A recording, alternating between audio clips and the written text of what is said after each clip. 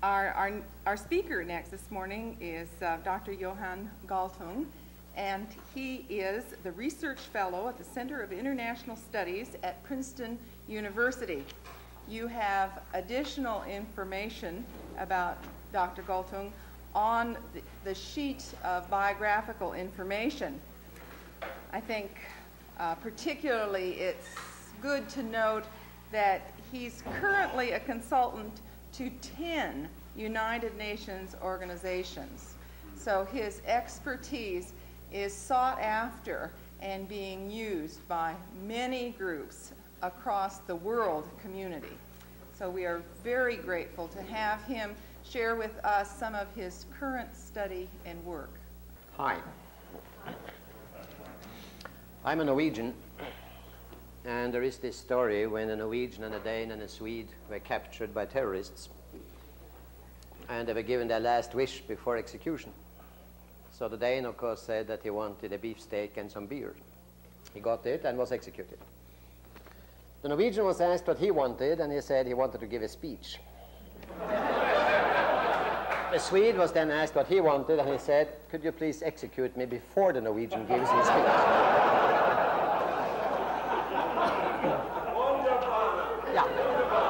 Nøyaktig. Så det her var spesielt for min svenske venn i det her exactly. So now you know what you're in for. we usually speak at considerable length, as a matter of fact. So it's the, and you're already 20 minutes late, so I'll try to add to that.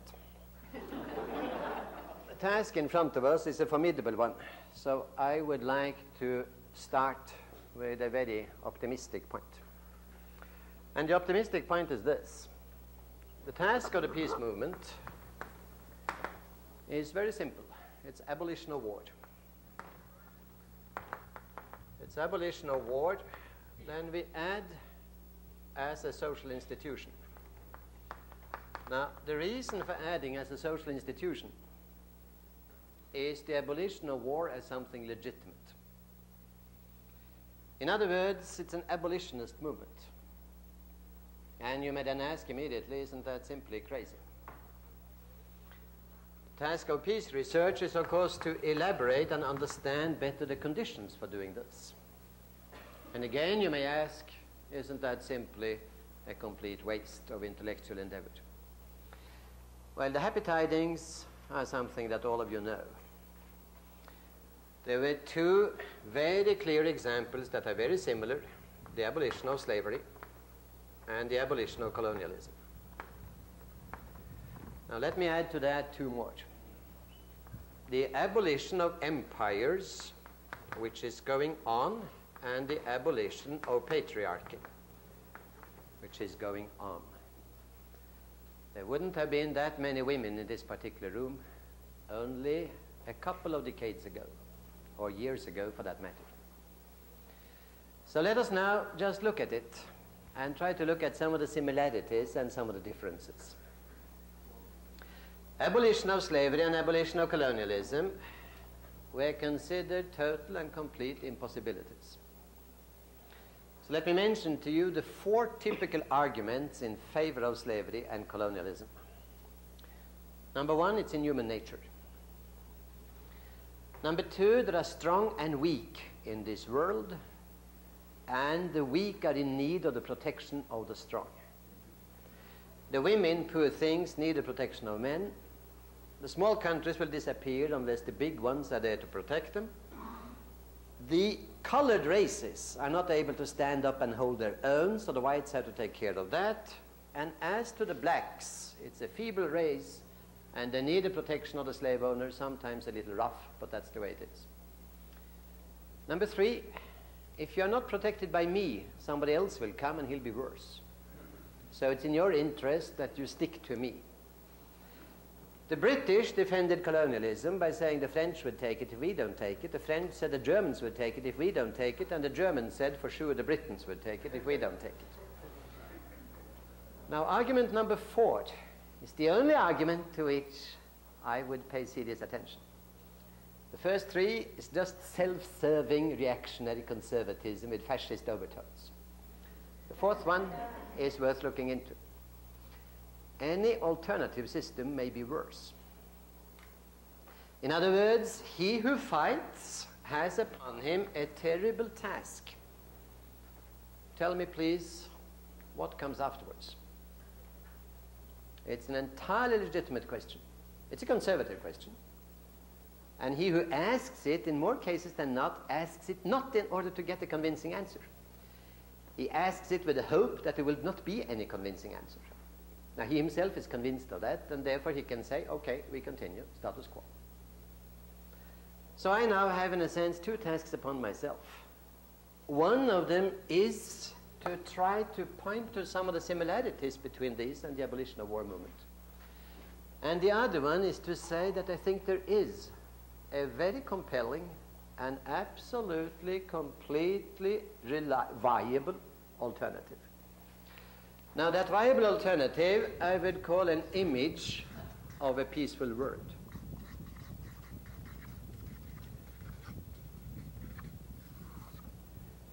An image of a peaceful world which is, so to speak, feasible within, let us say, at least not more than 50 years. In other words, not asking for a utopia just on somebody's drawing board. And when I'm through with all these Norwegian speeches that I'm going to expose you to, you shall have that. So, we go back here again. Let us try, first of all, to fill in two small gaps. What about the abolition of empires? And what about the abolition of patriarchy? Uh, there are much longer lists, actually, but these are the ones that I'm concerned with in this connection. In this century, we have abolished 12 empires and reintroduced or created four. Now that's my, plus 12 minus 4. It's a gain of 8. It's not too bad. We just remind you of the 12. After the First World War, we abolished, we meaning humankind, the Austro-Hungarian Empire, the Ottoman Empire, and the Prussian Empire in the Pacific and in Africa. After the Second World War, we abolished the Japanese Empire with the exception of Okinawa. For instance, if I may pick up one case, Taiwan was restored from Japanese supremacy, which was inaugurated in 1894, but not restored to the Taiwanese people. I was so happy this morning when somebody was able to bring out that extremely important point. Now, the Italian Empire was dissolved, and the Prussian Empire over the German state in the Bismarckian sense was dissolved. Germany, in fact, was divided into four parts West Germany, East Germany, the part on the Polish administration now in Poland, and the part on the Soviet administration in the Soviet Union. Francois Mauriac, the French philosopher, has said, I love Germany so much that I want as many of them as possible. now that is 3 plus 3, we are up to 6 now. The British and the French Empire collapsed relatively quickly. The Dutch and the Belgian likewise. The last parts of the Spanish, and the one that held out the most was the Portuguese. So we're now up to 12. It took an enormous amount of time to establish these empires. It took surprisingly little time to demolish them. And what we saw was a cascade of new countries. United Nations expanded from 50 members to the 159 they have today a cascade of new countries of chances for realizing human beings' potential. That all the countries have their problems, we know. That the countries that were there before have their problems, we also know. When it comes to patriarchy, the idea that the male part of the human species has a sort of God-given right to protect the other part and to be in ascendancy has been very effectively challenged. How far back. But it is very interesting to see how quickly it has been challenged effectively. So let me now draw some conclusions from these four. and more particularly, I shall draw three conclusions. Point one the abolition of slavery did not happen through multilateral conferences among slave owners. The abolition of slavery was not something brought about by multilateral conferences of slave owners. To believe that the abolition of war is something that will come from meetings among the heads of state, the prime minister, foreign minister, ministers of defense in heavily militarized countries, is extremely naive. To believe for that reason that the Geneva set of conferences is an important instrument in the abolition of war, I would stamp out as naive. What did come out of conferences among slave owners were efforts to make the Middle Passage less filled with suffering. There were rules as to how many people could be stowed on board. The chains, if you will, were made slightly less painful. The same for colonialism. It was not through a multilateral meeting of colonial powers that colonialism was abolished.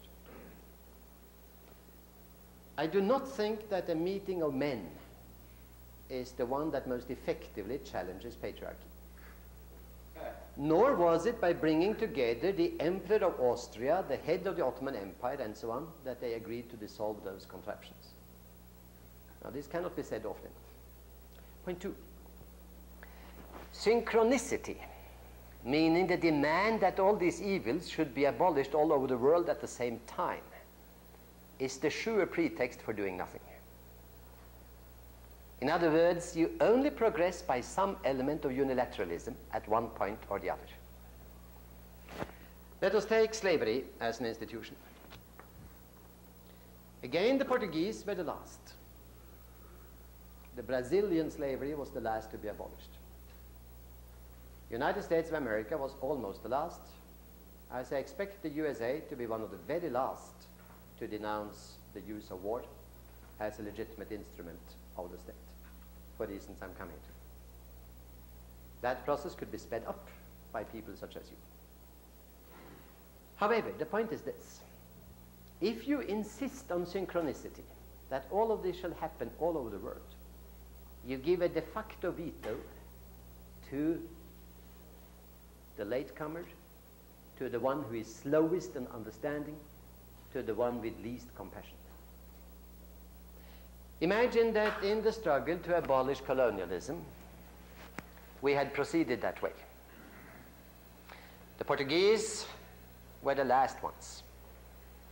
That was through the revolt in the Portuguese forces in Angola and Mozambique that decolonization came also to the Portuguese Empire.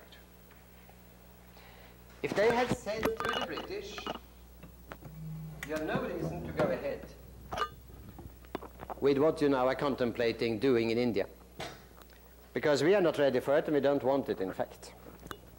Moreover, if you do it, we'll try to move into India and take over from Goa. Which might be technically difficult for them, but that's the type of argumentation pattern. If that had happened, and people had respected that type of argument, we might still have had colonialism. Point three, it is only through struggle and not by conferences alone. The conferences come at the end, after the struggle. It's only through struggle that these things happen. Now, who were the ones who more than others came into the forefront in the struggle against slavery and colonialism? The slaves and the colonized peoples. The slaves and the colonized people. However, they were exposed to a process of dehumanization from above in the sense that the slave owners had defined them as non-human, and the colonial powers had defined the colonial peoples as less than human, badly in need of the mission civilisatrice, the civilizing mission of particularly Western European countries. Now, suffering from the Occidental superiority complex, those who were not born under that star were seen as less than human. in the gap between the oppressor and the oppressed. Somebody had to intercede. Because whatever happened down here among the oppressed was seen by the oppressor as acts of savagery, as evidence of how primitive they were, or how childlike. You may be perhaps remembering the Bandung Conference in 1955, where countries that had been colonies came together to design a new foreign policy based on the Panchshila, the five principles of mutual respect and so on. They were greeted by the foreign minister of Belgium with the words, the children have been playing in the sandbox. Now, among those children were Zhou Enlai, Jawaharlal Nehru, and others. They will be remembered in world history, and the foreign minister of Belgium is already forgotten. I'm sorry for calling you to, his, to, to, to remember him, but I'll not even mention his name. Now, somebody has to intercede when the gulf is of this kind.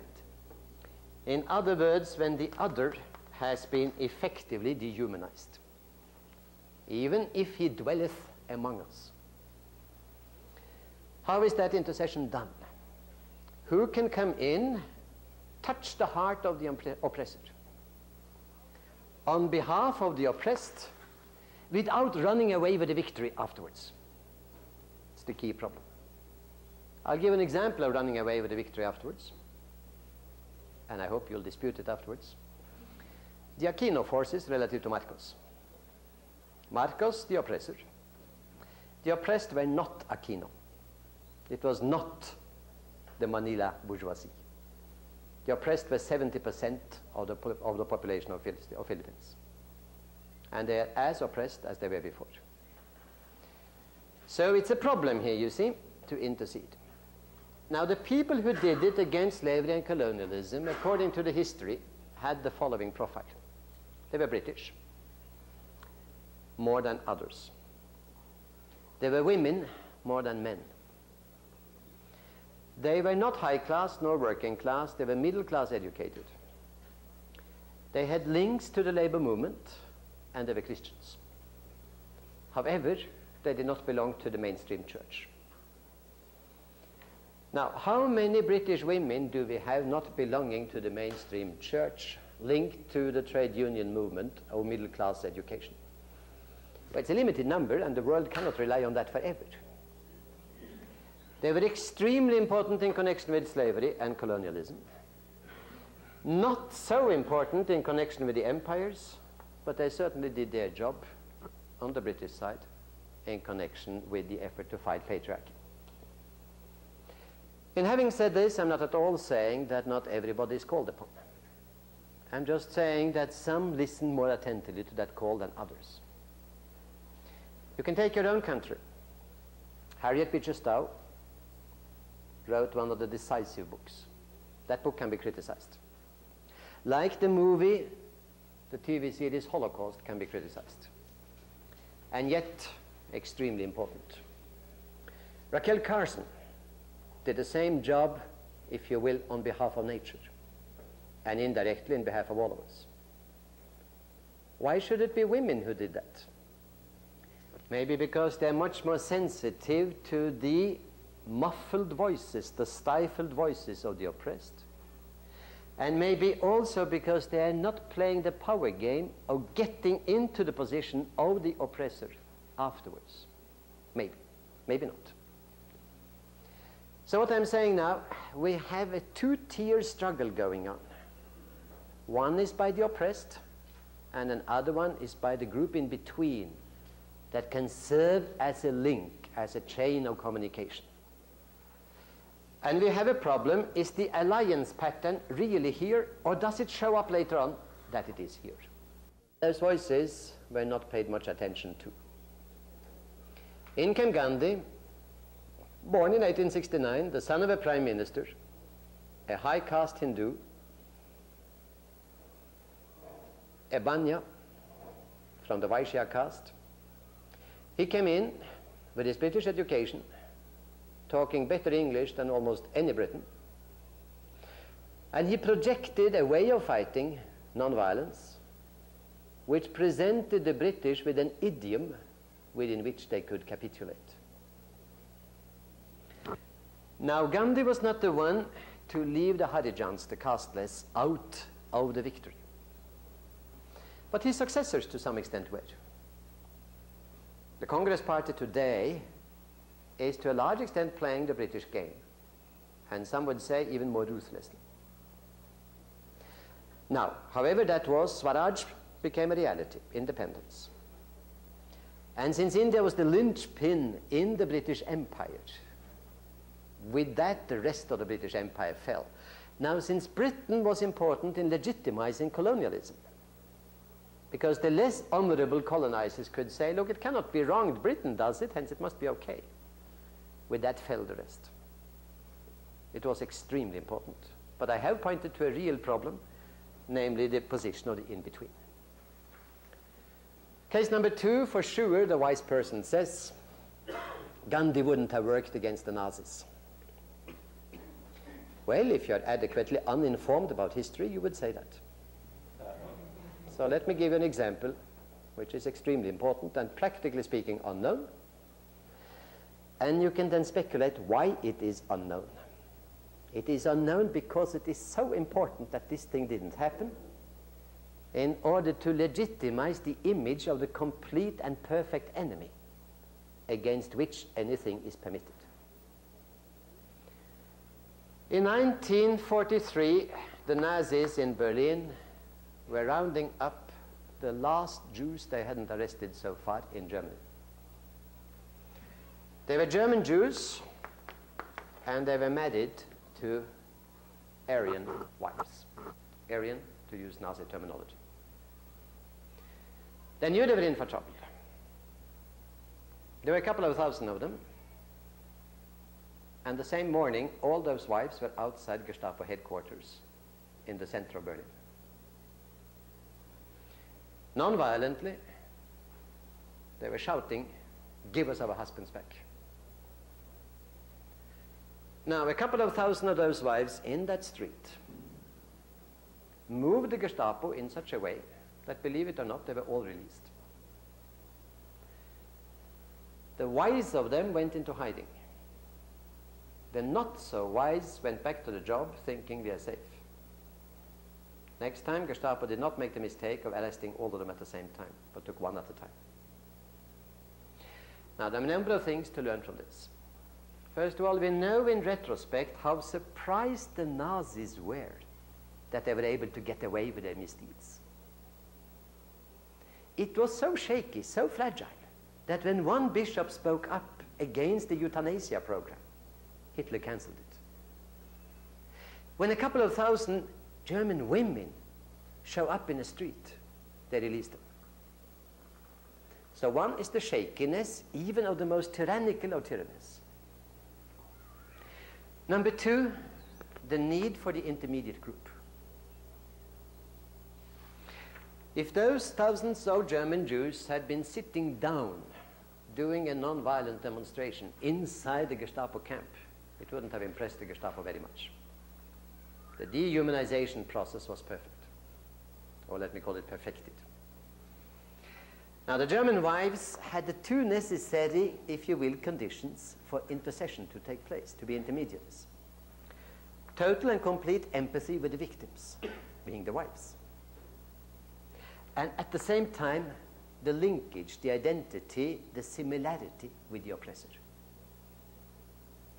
So you have to be of the oppressor's kind yet be totally identified with the oppressed. And that is difficult. That requires a spirit of brotherhood and sisterhood, in a sense, in both directions. Third example the United States in Vietnam. It's one of the most disgraceful, painful things in this century. So, what brought the war to an end? The other was very successfully dehumanized. When I was in Saigon in 1968 to try to understand this process. Uh, it was all filled with Charlies and Gooks and commies, and they had no human characteristics at all. In the period the United States was actively fighting, about 2 million Vietnamese were killed. Washington is responsible for 2 million lives lost it. 58,000 American lives were lost. But these were 58,000 working class Americans, 25% of them blacks, from non chic parts of the US. There isn't one single son of a US congressman or a politician who was killed. Deferment was organized for almost all of them. The deferment of the college educated or seeking college education level among United States youth cut across hawks and doves, right and left. It was a general class struggle. It was a class struggle from above. I presume that those to the right went into business administration after having gotten their MBA, and those to the left went to Canada and Sweden, and have greatly contributed to social science in those two countries. But that was not what brought the war, to an end. I think what brought the war to an end was an intermediate level consisting of a rather major faction of the US population and the US population, in a sense, was making it clear to Washington, D.C., that we are engaging in CD, civil disobedience. The word tax refusal was mentioned here. It was a very important word back in those years. Massive civil disobedience in the sense of conscientious objection. Enormous demonstrations. But not enormous enough when the Peace Now group in Israel demonstrated against the Israeli, and I would say fascist, attack against Lebanon, condoning, and I would say probably also conspiring in connection with the genocide in Sabra Shatila. The demonstrations inside Israel were of a magnitude which, when translated into the US, would have meant 20 million people in Washington. You didn't manage that. And yet the memoranda written by McNamara were as if the U.S. was falling to pieces. And it was pointed out by the Assistant Secretary of Defense that we are in a state of disunion that we haven't experienced since the Civil War. Now, the Civil War was 102 years earlier. This was written in 1967. And I see again the same pattern, namely that the extreme oppression from Washington, D.C. was not broken by the Vietnamese suffering. I could even go further. If 20 million Vietnamese had been killed, wouldn't have paid any attention to it. They didn't pay any attention to the transition from 200,000 to 2 million, or from 20,000 to 200,000. Why should they pay any attention to the transition from 2 million to 20 million? But this one mattered. Now, there is something very disconcerting in it.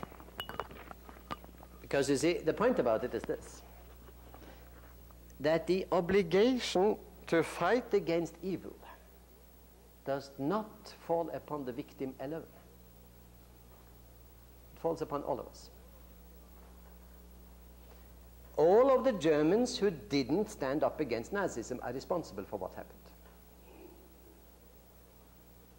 One has to understand the mechanisms of dehumanization against these gaps and the insensitivity to which the oppressors are trained at the same time as there are certain things they respect. So having said this, let me now try to say something about the nature of the right of the state to wage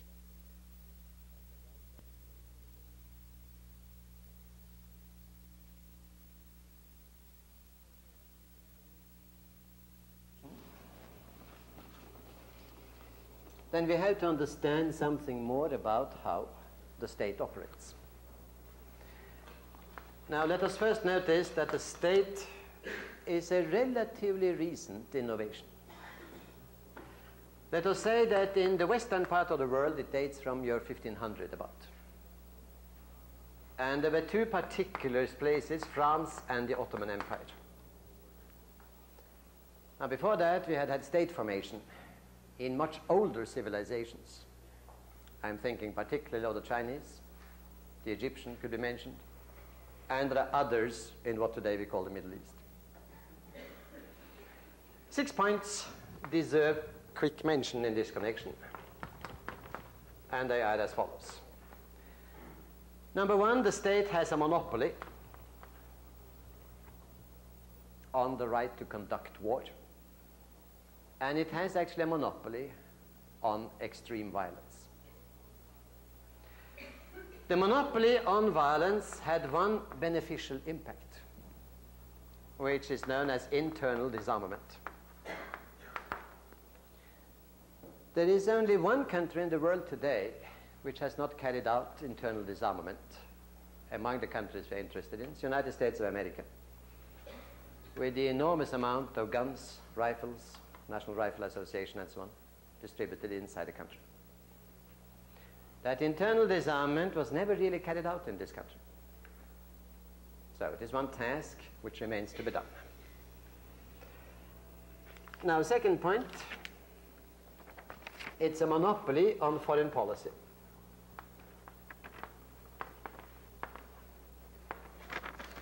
If you combine number one and two, you get the monopoly on warfare. Number three is a new contract, which was unknown before. And the point about the contract is this that the state provides for you, the state is the provider. L'état providence. The state provides for you ultimately to the points described in human rights declarations. But you do something in return. And that's the fine script on the back side of any human rights declaration, which is not written. Contains three points. It says, in return for all these goodies, you shall pay taxes. You shall, in general, respect the state. You shall have a general attitude of obedience. And point three, you shall be willing to give up your life if the state decides that this is in the national interest. Now, this brings us to a very, very important point. The more the state provides in terms of human rights, the more nastiness can it, in principle, demand from its citizens. The more democratic the state, the more it provides a setting within which you can survive, have well being, have freedom, and serve your God of your choice, the more can that state demand from you. It is absolutely not true that the more democratic the state, the least inclined will it be to become belligerent. On the contrary, the more of a leverage does it have on its citizens. And the point I made, you can now translate into any number of speeches from heads of state. And you can give it in any language you want. When they had elections in Hungary not long time ago, in June 85, then one of the most interesting debates during the election was a young man who challenged the right of military state to impose general conscription. And he was arguing in favor of being a conscientious objector. He was actually the son of Rákosi. Now, the foreign minister, who was his counter candidate, said, This is total ingratitude. The socialist state provides for you in so many ways. This is the way in which you pay back. Now, the foreign minister acts his role perfectly. Who wrote the script for him? Well, that script, you see, they started writing in 1500 and they're still writing it. So the idea of the gratitude, if you will, as an important factor.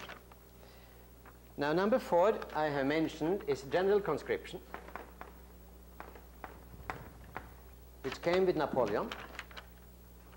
And Napoleon could introduce it exactly after the human rights and democracy had been introduced.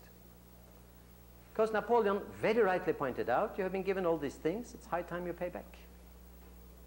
And Napoleon was saying in his countless memoirs that now I have an unlimited reservoir to draw upon. So he could just make his drawing board designs, and he could do what these people do, which is to play cards with us. Now, the next point is a point made by the excellent theoretician of civilization, Elias, Norbert Elias. And he points out that from the Middle Ages to the modern times, something happened to the conceptualization of violence. In the Middle Ages, not that much killing was carried out, but it was enjoyed. Presumably not by the victim, but by those who killed. the point about it being you can say a low level of sensitivity, but that was not really the point. The point was rather that it was considered legitimate to kill and legitimate to enjoy. One of the games they had in Paris was to assemble a basket full of cats and fry all the cats over an open fire. Now, to start a fire, that was something the king did. And people were queuing up to enjoy the suffering of the cats. During the battle between the knights, there are very clear, if you will, things written up by those people saying that nothing is so enjoyable as to hear the suffering and to see the innards come out, and so on. Now, what happened after 1500, and is happening more and more and more, is professional killing. And the idea is that it should be dispassionate in cold blood. So whereas in the Middle Ages the executioner was a person who evidently enjoyed inflicting pain. Today it shall be done with an extremely expressionless face. And we would frown upon any butcher who would do his butchery with an air of delight of his face. We would request of him that it should be what the Germans call sachlich, objective and professional. And that, you see, is the reason why we can condone the killings of hundreds of thousands from B 52s, but not My Lai. Not the type of thing shown in Platoon, because it is not sachlich. And you see the human passions, the revenge, the ambitions, the fear, all of that welling out. So adding to this one comes number six, the long distance killing. The technical feasibility of doing it. Now wrap all of these six together, and you have one of the most vicious constructions in human history. Give it, in addition to that, offensive Star Wars. It can be space based as an X ray laser or it can be ground-based as a free electron or chemical laser. And you have a basis for burning up large parts of the Soviet Union or the Soviets large parts of the United States. Give that, and you can see all of these things coming together, coalescing in a new technology. I mention it parenthetically because Star Wars is more likely than nuclear war. The reason for it is very simple nuclear war is too dangerous. It's too dangerous for the attacker because the radioactivity comes back. Laser war doesn't leave any radioactivity. Laser war can also be made much more precise and it's much quicker. There is no warning time, so the other side has no time to contemplate a second strike. Now you can say this is so massive and yet it is not more massive than colonialism and slavery looked. It is a structure, and as a structure it can be fought. And the way I shall now try to say something about it is by trying to conjure an image of an alternative. And I will do that in the following spirit. I think no good struggle is possible unless you have an alternative. And the alternative has to be relatively compelling, and the way I go about it is then the following. I say that a peaceful world would still have nation states for some time to come. Sometime, 100 years, 200, 300. One point about it is being that some nation states are old and a little bit tired. Some of them are very fresh and new. Sweden a little bit tired, Norway quite different, if you will. Especially as we managed to get rid of Sweden. now, I assume that the nation states are here to stay for some time. So for that reason, I'm not saying world government, I'm not saying disarmament. I'm a peace researcher, I try to take these things seriously. So I'm saying there are two things we have to do with the nation states. We have to tame them, making them less aggressive. For instance.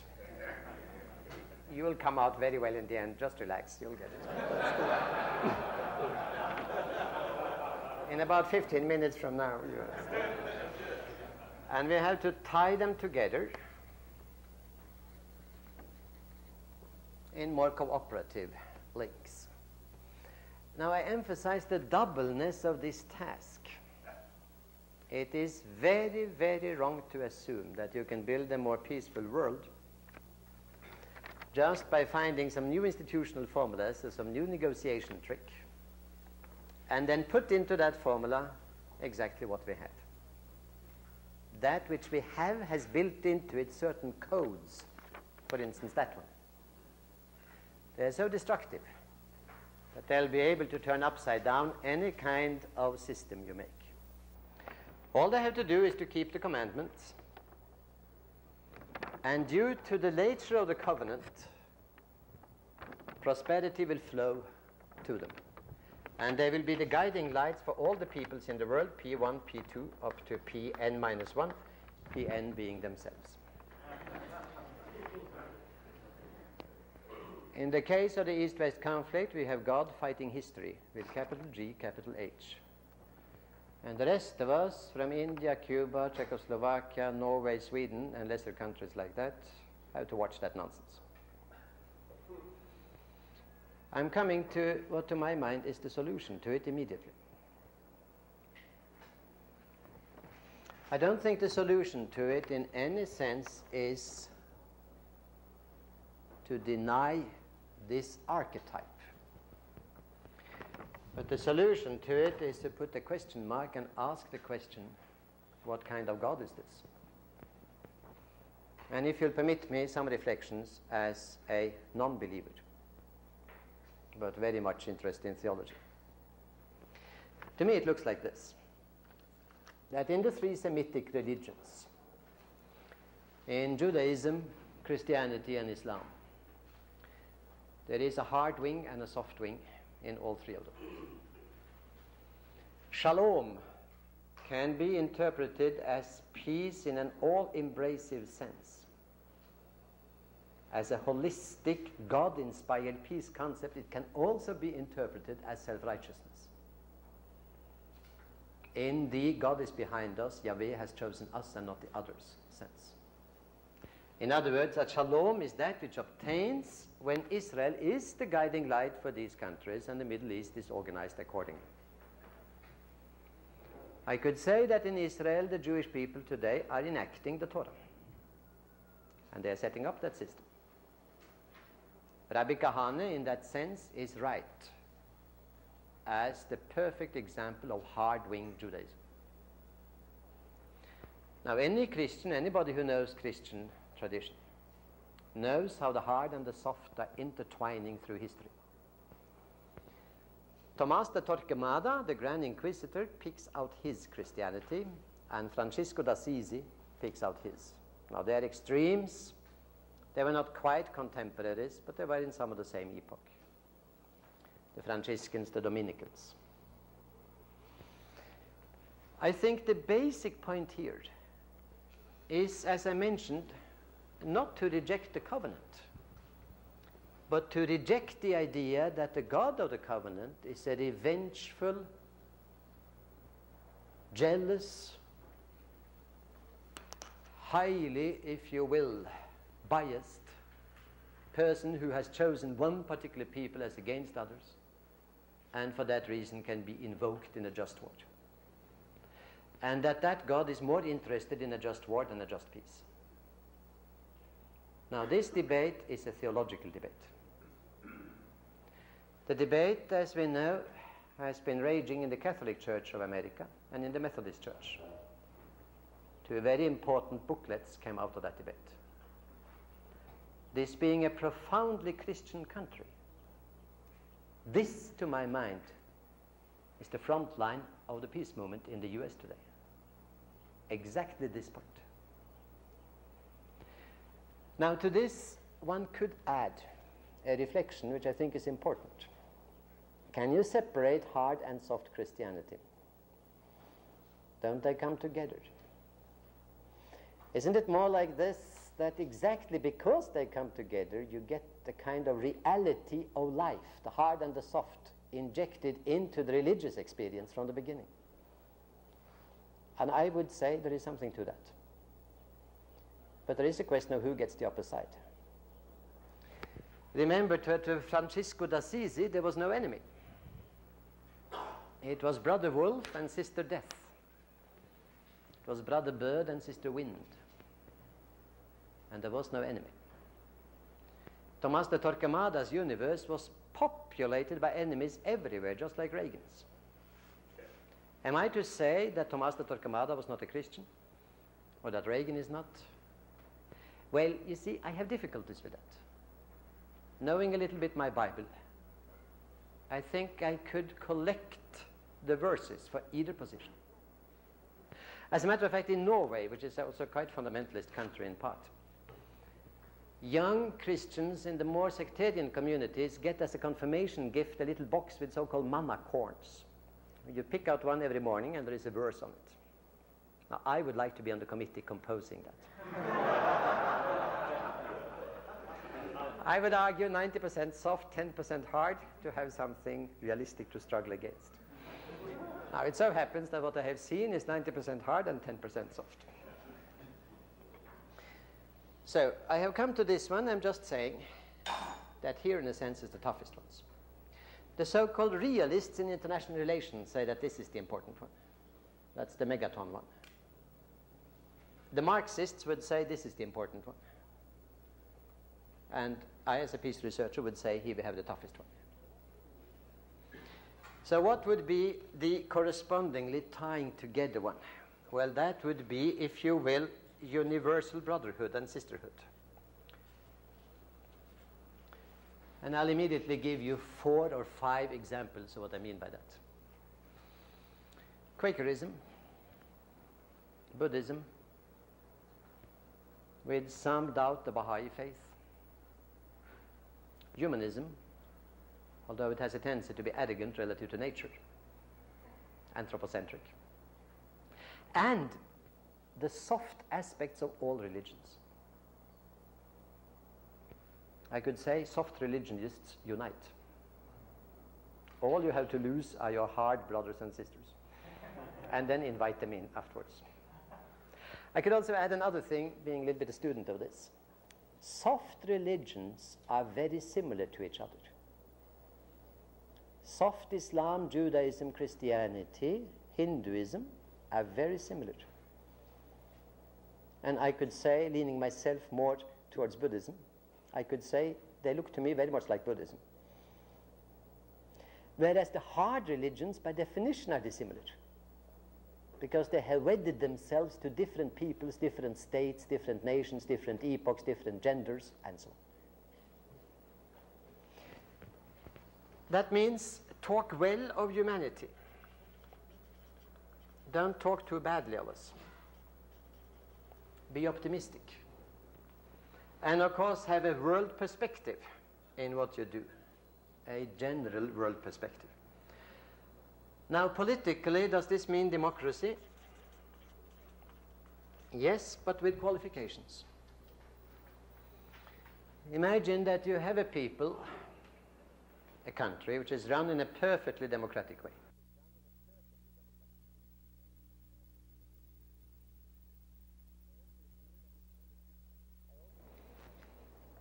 I also would mean that if there are only two parties, that they are dissimilar. I would also mean that if there is actually only one party, that it is at least a party, in the sense that it has offices everywhere so that you can meet it and quarrel with them, and not some kind of committee sitting in the capital once every four years. I mean a country where 85% participate in elections and not 38.5%, to take the recent figures from Philippines and United States. I mean a country where there is real openness in the media, where you don't consider it having listened to both sides when you have interviewed both Kissinger and Brzezinski. and so on. I could go on like that. Uh, in sense, it's cheap, but it's also very, very important. Now imagine that you have that much more perfect democracy. But the people in that democracy is a chosen people so self-righteous that they with no hesitation would vote, be 70% in favor of bombing North Vietnam, as they were according to public opinion polls in 1972. But bombing into the so-called Stone Age, as was the charming language those days, yeah. then I would have doubts. So, in a sense, this one is not to be seen independently from the other, you see. One should not believe in democracy as a panacea.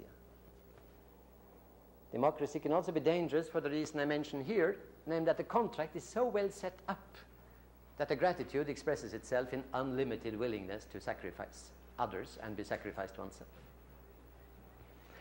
So democracy presupposes a sort of internationalization.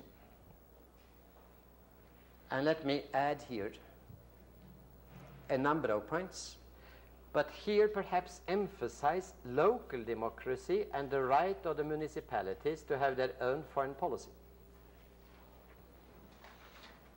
There is much talk today about the privatization of foreign policy. The president of this country is in fact rejecting point number one. He's saying the state doesn't have monopoly on what? Interested citizens can get access to the weapons in the storage. They sell them at manufacturer's value. Uh, excuse me, they buy them at manufacturer's value and sell them at replace replacement value. Now, how is that possible? Don't you have something called a GAO that should enter in this? Well, it's some kind of, if you will, decentralization, to put it mildly. Imagine now that you had a decentralization the other way with the 3,300 municipalities of the United States tying in peacefully with municipalities all over the world, creating bonds and ties, and you will have a fantastic peace potential already. US democracy is at its best at the local level, where it is a touching, wonderful experience for foreigners. It's at its worst in Washington. So now what at the world level? Well, you could have a second chamber of peoples in the United Nations in order to soften the governmentalism of United Nations today. How many should there be? One representative per one million. It means eight Swedes, four Norwegians, 240 Americans, 280 soon Russians, 1,048 Chinese. It's at that point that people start getting doubts about the proposal, which of course is a very racist kind of thing. So somebody come up with the idea, why don't we take the square root of that one? and we get it down to 34. So in that case, we have three Swedes, two Norwegians, we have between 15 and 16 Americans, 17 and 18 Russians, and things of that kind. Excuse me, 16 and 17 Russians. Now, it's not so terribly important, but worth discussing. What about a chamber of non-governmental organizations? Well, let us first rename them and call them people's organizations. It's very governmental to call them non-governmental. It's like referring to women as non-men. I have tried it out in international meetings with governmental representatives. What about calling you non-people organizations? they didn't like it at all, not the slightest. This church, this very moment, is an example of a people's organization operating. Now, what about the chamber for them? There are 4,767 of them. The biggest one is the International Cooperative Union, of cooperative societies, with between 5 and 600 million members. Ah, it's bigger than most of us. It's bigger. It's about the size, no, it is bigger actually, than the two superpowers combined. The second one is the International League of Red Cross Red Crescent Societies, 250 million. In a more decent world, all these things should have a chance of articulating themselves clearly. You can say that at the other end you have the somewhat strange, not the International Esperantist Union nor the International Nudist Union, but the International Union of Esperanto speaking nudists.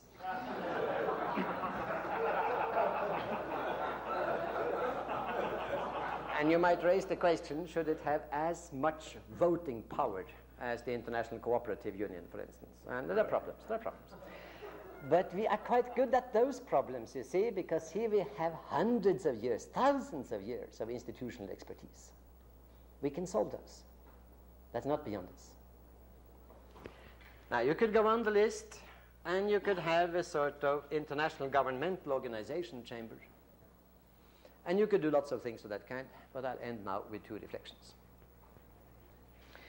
You have here a sort of eight themes Very much more can be said about it, but let me ask one question. Okay, okay, do you have that anywhere in the world? Yes, we have it in three places in the world. The European community, composed of countries with a tradition of mutual slaughter, butchery, enmity, which is almost incredible. I think the European community is very exploitative relative to the third world but among themselves to come up with a solution tying France and Germany together is not bad. And mind you, it is not done by one of them dominating the others, it's done in an equitable fashion based on a number of these rules. Number two, the ASEAN, Association of Southeast Asian Nations. There are six of them Philippines, Indonesia, Thailand, Singapore, Malaysia, Brunei. They have not been able to achieve very much in their 20 years' existence economically. But during those 20 years, they haven't had a single violent conflict. And they had quite a lot before. Number three, and the most important one, of course, the Nordic countries. It's only out of false modesty that it comes at the end. there are eight of us. You can start with the four big ones, starting, of course, with Norway, then Sweden, Denmark, and Finland. And then you have Iceland, and then three islands Greenland, Faroe, and Åland. Åland is between Sweden and Finland in more than one sense. It is under Finnish administration, but has a certain independence. And number nine, the Sami nation, which we have treated abominably. 22 million people functioning exactly according to that scheme on most points. If you add up the number of people living in these three arenas of the world, you get more than 600 million people. Now, you can say that's a far cry from 5 billion, but not too bad. So, again, it is not the kind of, let us say, drawing table utopia. It's a reality. Worth struggling for. But you also see immediately how difficult it is to insert the United States in it. Because the US is so big particularly in the view of its own leaders. That to insert it as a good citizen in an egalitarian way, where you know you don't use your considerable economic power, you restrain yourself. You don't brandish a sword, you have defensive defense. You participate in an equitable way in international organizations. And if you think you are selected by God, then you try to reconsider what kind of God that is. And with those words, I would like to conclude that I am very grateful for this opportunity and wish you all good luck.